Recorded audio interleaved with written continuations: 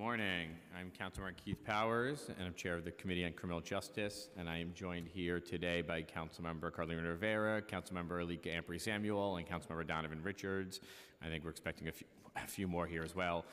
We're here today to vote on four pieces of legislation relating to transgender, gender nonconforming, gender non-binary, intersex individuals in DOC custody. This, these are results of a hearing we had a few months ago.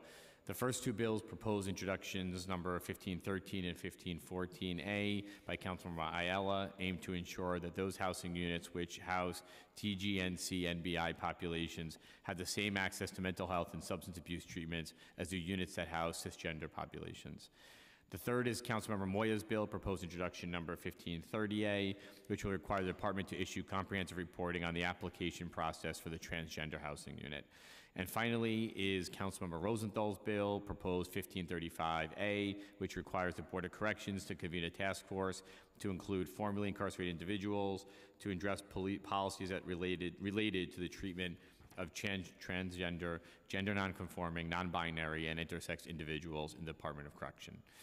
Uh, Before I uh, bring it to a vote, I just wanted to, uh, Councilmember Rosenthal asked me to read just a quick statement from her on her legislation since you cannot be here today, and I will read it to you. Uh, The recent death of Lillian Polanco, a young transgender woman in custody at Rikers, represents a terrible failure by the City of New York. This tragedy underscores the need for greater accountability and transparency on how the city treats transgender, gender nonconforming, non-binary, and intersex people in its custody.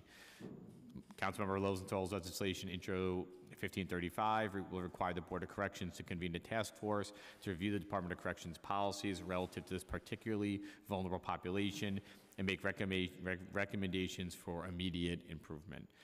Critically, this task force will bring people with lived experiences to the table, as well as experts in transgender policy to ensure safe, humane, and respectful treatment of TGNC NBI persons in custody.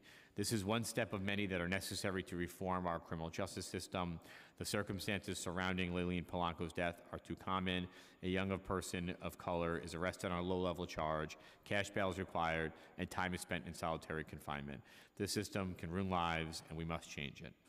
Um, With that being said, I want to thank our staff for helping to put together the hearing that we had earlier this year and for today's hearing. And I want to thank all the council members in attendance here. And we will, with that, um, move on to a vote. Thank you. William Martin, Committee Clerk, roll call vote. Committee on Criminal Justice, all items are coupled. Chair Powers. I vote aye. Richards. I vote aye. Ampry Samuel. Rivera. We vote of four in the affirmative, zero in the negative, and no abstentions. I think we're All- going to just keep it open. We're expecting another council member. Okay. All items have been adopted by the committee. Okay. I will, I will keep it open. Thanks.